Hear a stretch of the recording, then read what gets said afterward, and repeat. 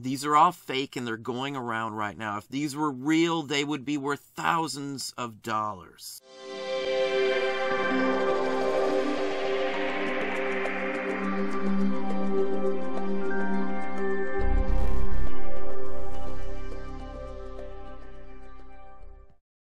Hey, it's Don. Today we're going to talk about some fakes that are going around right this very second.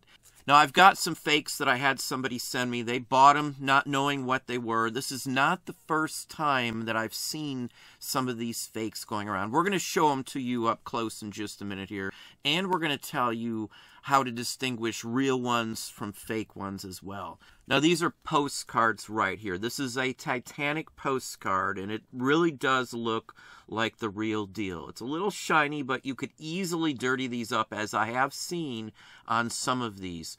There's some really good printing jobs on these. It's really hard to tell unless you have them in person or you know exactly what you are looking for. Someone has taken a great care into making them as realistic as possible. This little stack right here would be worth several thousand dollars just right here. There are fake baseball cards, fake trading cards. Geez, just so many printed materials that I have seen just in the last little while that are fake. Embossed items, letterheads, printed pieces of paper, things that you would never expect would be faked. They even can pass the black light test. So usually with modern day paper and stuff like that, it fluoresces but due to how these are printed, it does not fluoresce. Let's hop in and look at some close-ups and explain what to look for while you are out there. So here's some close-ups of some of the cards that uh, have been turning up lately. Now I've seen some of these sell for some good money on online sites such as even eBay. I've seen them put in, say, scrapbooks where someone was buying an entire scrapbook of postcards, and these new ones, these reproductions, were mixed in with real postcards. So obviously it was done to deceive people uh, to some extent. Now I don't know if these were printed to be deceiving or not to start off with, but they're well known postcard designs. They're original. The thing on these two, they're not copyrighted anymore. They're in public domain because of the age. So someone making copies of these isn't doing anything wrong technically. Now, there's some big giveaways, and we're going to zoom in so you can see some of this. There's some big giveaways on these being real versus fake. Now, this one should have a white border all the way around it. Now, if you look online, you'll see the white border. Now, why is this one important? Well, this is the Olympic, and that was the sister ship of the Titanic, and they basically were identical. So you're going to see both ships mixed and intertwined. Well, size-wise, this is the correct size, but the card is cut off because of how they did the printing process in this. It's not odd to see a card trimmed in real life where someone may have trimmed the edges of it. So in this case, it's not really trimmed. It's the correct postcard size three and a half by five and a half, but the card's been blown up to compensate, or they cropped it wrong, or they got the bleed wrong when they did this. Now, the biggest giveaway is not on the front on this one at all, because I've seen them printed just like the earlier ones. Now this one here has a dot matrix pattern to the color printing on it. Uh, I've seen some other ones that don't have that on it. Some of the original ones have dot matrix printing patterns to it, and some don't as well. But one thing that the originals do not have would be dot printing of the print on the back. This would have been a solid color. There would have been no reason to have printed it in, in dot matrix or anything else like that. The original ones that I have seen are solid printed colors. But if you look at these with the loupe, the word postcard in every single line on the back is printed on here with a dot matrix printing technique. Now, I might also add, this is printed on a different color paper, not white. It's printed off-white intentionally on off-white paper. On top of that, the entire back you see here, every single centimeter, inch, millimeter of the back of this postcard has been printed in this color. So none of the actual original paper shows up on these. So if you hold a black light to it, it's not going to fluoresce at all because the ink on here doesn't fluoresce. The paper may have uh, fluoresced, but it's all covered up. Now let's look at a couple other ones here. Now this is another one. I looked at these online through some shared images, and just by looking at it, overall it looks okay. Now, this one should have probably a white border around the edge, possibly also. A lot of these era ones have white borders all the way around, so it's been blown up.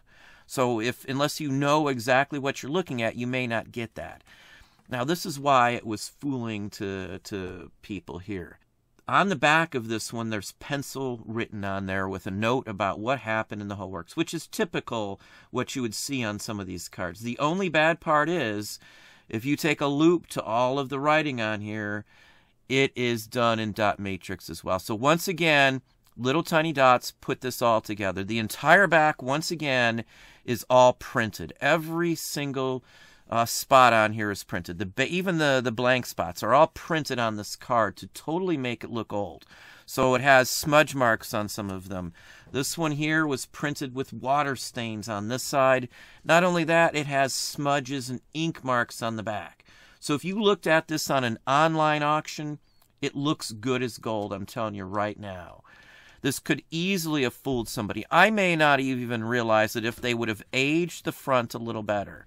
Uh, but sadly enough, it, it's all printed on here. The water stains on front, all the marks on the back. It's all printed. None of this is original. None of it is real. They're all done that way intentionally. Now, I looked at the back of this one too. This, again, is identical in every little way that you could uh, uh possibly imagine in printing uh, uh, looks because they literally just copied a vintage Raphael Tuck back and printed it. The biggest difference, though, on this one, again, it all is made of little dots. Biggest difference is there's a little less white spot around the edges as there should be because of how, again, they probably set up the bleed on this. Now, we've printed thousands of postcards of our own artwork and stuff like that. This is just a couple examples of ones that I've printed in professional printing companies. This right here, I could get a hundred of these made for about 40 bucks and it only would take you fooling one single person just once to get all of your money back and make a profit. So you've got to be very, very cautious on buying all of these sorts of things out here. Now, just because this one here has a dot matrix when you hold a loupe up to it, doesn't mean that they all do. There are reproductions that are printed in solid ink, so there is no dot printing on it.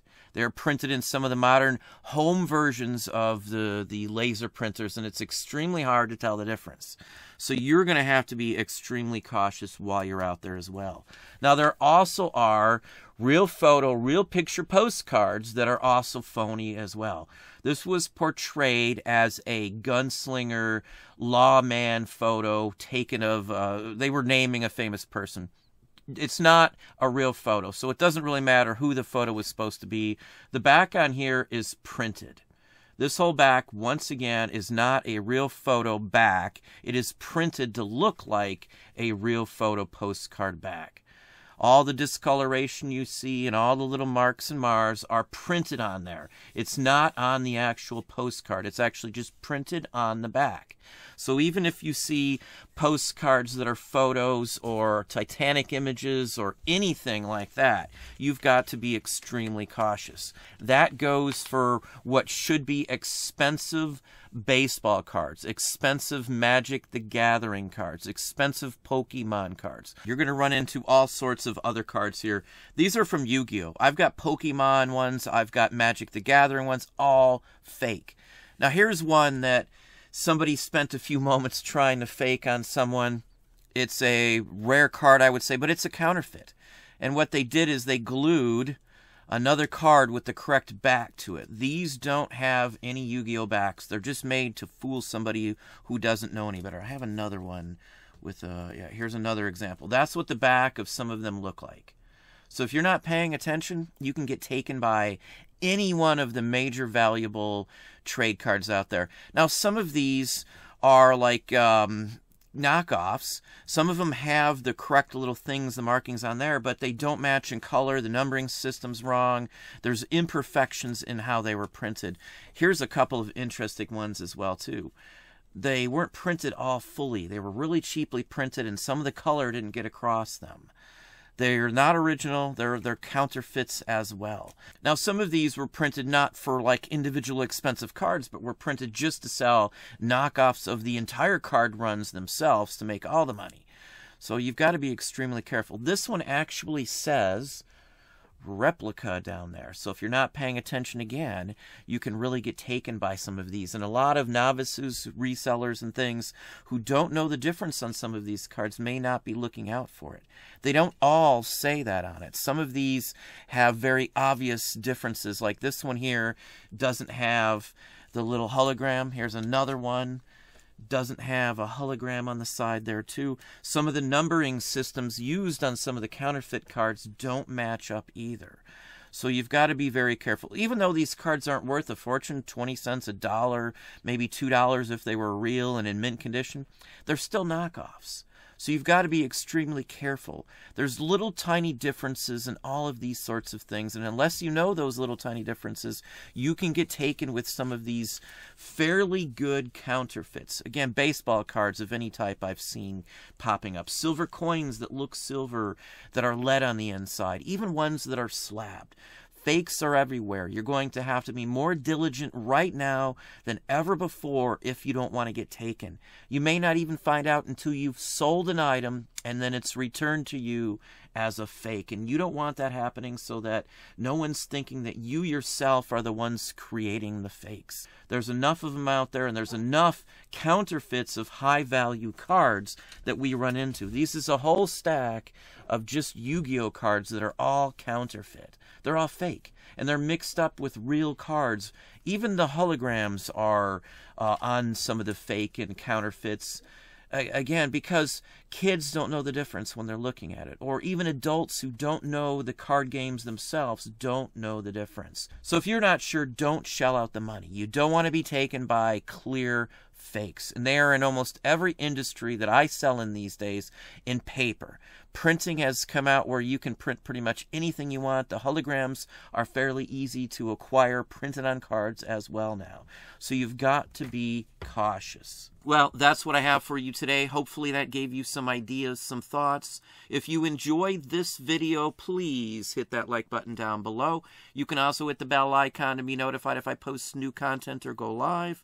Subscribe and tell all your friends.